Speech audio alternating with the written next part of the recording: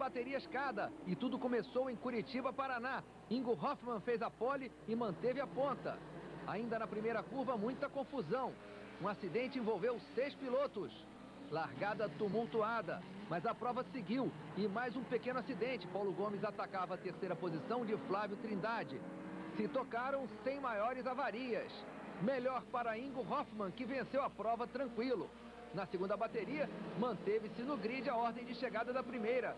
Ingo Hoffman fez a festa. Numa corrida segura, Ingo só precisou administrar seu tempo. Apesar da pressão de Xande Negrão nas últimas voltas, ele venceu de ponta a ponta e fechou a rodada de Curitiba com dois primeiros lugares no pódio. Ricardo Echenique foi o vencedor da categoria B. Segunda rodada, Autódromo de Interlagos, São Paulo. O pole foi Chico Serra. O veterano Ingo Hoffman acabou se envolvendo num acidente com Alessandro Weiss no final da curva do S. Paulo Gomes estava num ritmo forte e Chico Serra não conseguiu segurar a pressão do Paulão, que acabou assumindo a liderança. Um acidente envolvendo a Luiz Andrade, Daniele Molinari e Anania Justino trouxe o pace car para a pista. Bandeira amarela e na relargada, Paulo Gomes manteve a ponta debaixo de muita chuva, mas acabou escorregando e perdendo a posição para Adalberto Jardim, que cruzou a linha de chegada em primeiro. Etenique venceu na B. Segunda bateria Interlagos, Adalberto Jardim disparou na frente. Chico Serra vai em segundo. A disputa entre Ingo Hoffman, Laércio Justino e Xande Negrão foi o momento de maior adrenalina da prova. Eles vieram forçando, mas quem se deu bem foi Ingo Hoffman, que conseguiu uma bela ultrapassagem ficando em terceiro. Mais à frente, Adalberto Jardim não estava no seu dia de sorte. Teve problemas e acabou abandonando. Sorte de Chico Serra, que assumiu a liderança e terminou a corrida em primeiro. Na categoria B, a vitória ficou com Carlos Cunha. Voltamos para o sul, agora no Autódromo de Tarumã. Ingo Hoffman fez mais uma pole e largou na frente. Ele também fez a volta mais rápida. Nesse ritmo, o líder abriu mais de 4 segundos de vantagem em cima de Paulo Gomes. Na categoria B, um pequeno acidente aconteceu envolvendo Carlos Cunha e Ricardo Etchenique na disputa pela liderança. Etchenique levou a melhor, mas Carlos Cunha acelerou forte na recuperação e logo retomou a posição. Sem maiores problemas até o fim, a prova terminou assim. Ingo Hoffman em primeiro na A e Carlos Cunha na B. Segunda prova em Tarumã e mais uma vez Ingo disparando na frente. Fortes emoções na disputa entre Carlos Falete e Carlos Alves. Uma das brigas mais acirradas nessa etapa gaúcha. Mais espetacular mesmo foi a chegada de Paulo Gomes. Ingo Hoffman garantiu a primeira posição. E Paulão disputou lado a lado com o Xande Negrão o segundo posto. Acabou levando a melhor, proporcionando ao público uma belíssima ultrapassagem incrível. Na categoria B, Ricardo Etchenique comemorou o primeiro lugar. Debaixo de muito sol e calor, Brasília foi o palco da quarta rodada da Ômega Stock Car.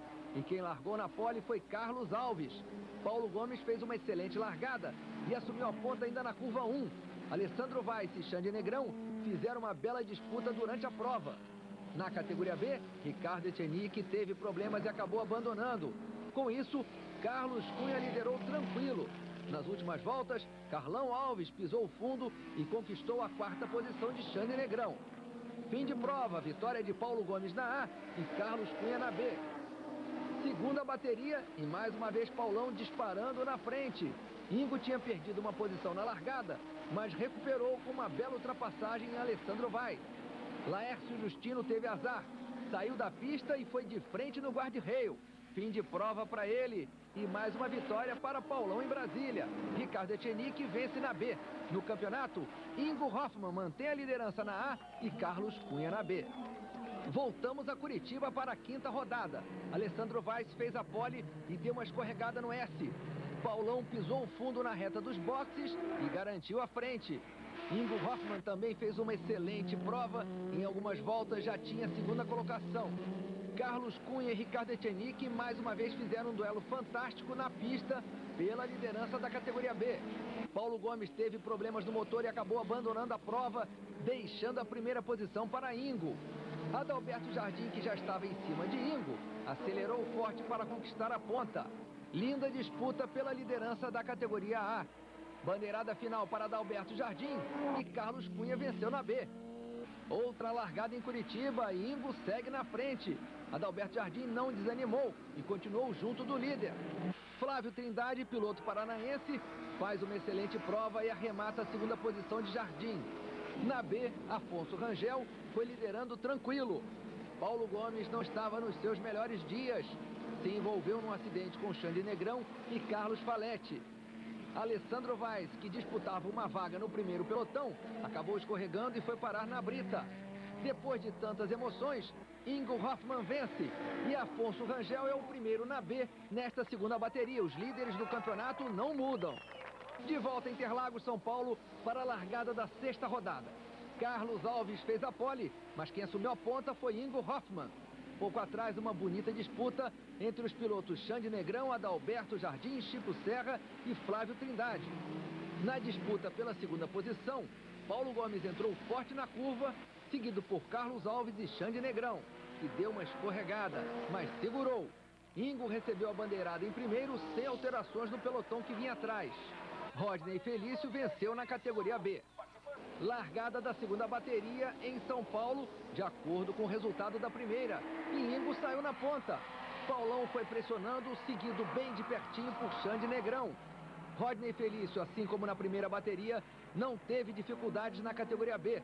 O momento de maior emoção da prova foi a incrível ultrapassagem de Paulo Gomes em Ingo Hoffmann na reta de chegada. Bandeirada emocionante para Paulão, mas a confirmação da vitória veio depois de muita discussão, porque a corrida teve uma volta a mais. Autódromo de Guaporé, Rio Grande do Sul. Começa a sétima rodada da Ômega Stock Car.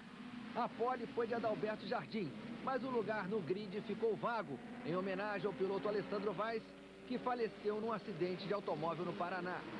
Quem levou vantagem na largada foi Xande Negrão, que disparou na ponta. Na disputa pela categoria B, Carlos Cunha vinha liderando com Rodney Felício na cola, mas Felício acabou rodando. Na briga pelo quarto lugar, Chico Serra fez uma belíssima ultrapassagem em Carlos Alves. E enquanto isso, os líderes Xande Negrão e Paulo Gomes disputavam a posição lado a lado. Mas quem faturou dessa vez foi mesmo Xande Negrão. Carlos Cunha venceu na categoria B. Segunda largada do dia. Xande largou na ponta, mas Ingo e Paulão pressionam. Os três ficam disputando a liderança lado a lado. Uma linda briga, mas logo atrás, José Fernando Parra mergulhou o barranco abaixo, fez ficar na pista. Na relargada, Ingo pisa fundo e vai na liderança com Xande Negrão fazendo pressão. Depois foi a vez de Paulão atacar Ingo, que escorrega. Paulão assume a ponta e traz Xande na cola até a bandeirada. Vitória de Paulo Gomes na A e Carlos Cunha na B. Ingo e Cunha mantêm a liderança do campeonato. A pista agora é a do Autódromo Internacional Nelson Piquet em Goiânia. Paulo Gomes faz a pole, seguido de Chico Serra e Xande Negrão. Eram 24 carros na pista debaixo de muito calor. Rodney Felício da categoria B, mais uma vez segurou a primeira posição, enquanto seu adversário Carlos Cunha teve problemas. A briga entre Adalberto Jardim e Paulo de Tarso foi o destaque da prova, que acabou sendo vencida sem dificuldades por Paulo Gomes, seguido por Xande Negrão. Na segunda bateria, Paulão acelerou forte e disparou na frente. Algumas voltas depois, o Pace Car entrou na pista por causa de um acidente entre José Campanella, Laércio Justino e Fausto Camacho. Bandeira amarela no circuito e nova largada.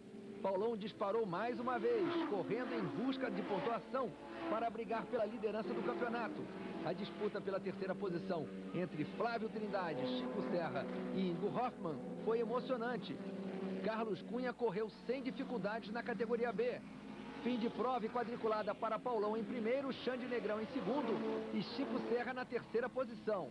Ainda faltam quatro provas e 80 pontos estavam em jogo. Hora da largada em Londrina, Paraná, em clima de pré-decisão. Ingo Hoffmann é o líder do campeonato com 48 pontos de vantagem sobre Paulo Gomes. A pole foi de Xande Negrão, que ainda no início da corrida ficou por dentro numa curva, com Paulão forçando por fora. Paulão levou a pior e perdeu a segunda posição para Adalberto Jardim. Num outro instante, Paulão escapou, foi para a grama e acabou batendo em Flávio Trindade, mas os dois continuaram. Com isso, Ingo já era o segundo e Xande Negrão o líder da prova. Rodney Felício era o líder da B e Carlos Cunha vinha no vácuo. Paulão se envolveu em mais um incidente Dessa vez, tentando ultrapassar Chico Serra. Serra teve o carro bastante avariado e Paulão acabou sendo desclassificado da prova, reduzindo quase a zero a sua chance de ser campeão da temporada. Bandeira quadriculada para Xande Negrão.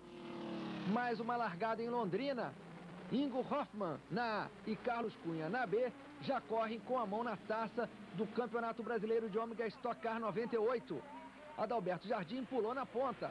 Flávio Trindade conhecia bem o circuito e em pouco tempo já estava marcando presença no primeiro pelotão da prova. Grandes emoções com a disputa acirrada entre Adalberto Jardim, Chico Serra e Xande Negrão pela liderança. Um pega sensacional entre os três pilotos, mas a vantagem acabou sendo de Xande Negrão, que soube aproveitar as oportunidades para ultrapassar. Xande vence com Jardim em segundo, Carlos Alves em terceiro e Ingo em quarto fatura o título da temporada antecipadamente. Seu décimo primeiro título na categoria. Carlos Cunha chega em terceiro na categoria B e também fatura o título antecipadamente. Última rodada da Ômega Stock Car temporada 98, Autódromo de Interlagos, São Paulo. A pole foi de Carlos Alves e Paulo Gomes pressiona na largada. Ainda nas primeiras voltas, a disputa pela quarta colocação entre Xande Negrão e Ivo Hoffmann foi um dos momentos mais emocionantes da prova. Mais atrás, confusão e fumacê na pista com o carro 28 de Newton Grilo, que foi acertado pelo carro do José Parra. Pace Car na pista, bandeira amarela em todo o circuito.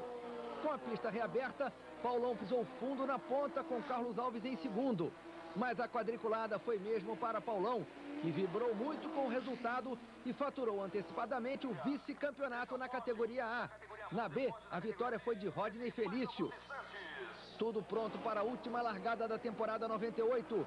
Resultados previamente definidos, mas nem por isso a prova foi sem emoções. Paulo Gomes, Chico Serra e Carlos Alves disparam na frente e aceleram forte no autódromo de Interlagos. O campeão antecipado da categoria B, Carlos Cunha, sofreu um toque e acabou rodando no meio da pista, levando com ele a Luísio Andrade. Bonito pega entre os pilotos Flávio Trindade e Adalberto Jardim. Paulão fechou o dia com chave de ouro e seguiu em frente para mais uma bandeirada em primeiro, seguido por Chico Serra e pelo campeão Ingo Hoffmann. Rodney Felício vence de novo na B e fica com o título de vice-campeão da categoria. O campeão foi o Carlos Cunha.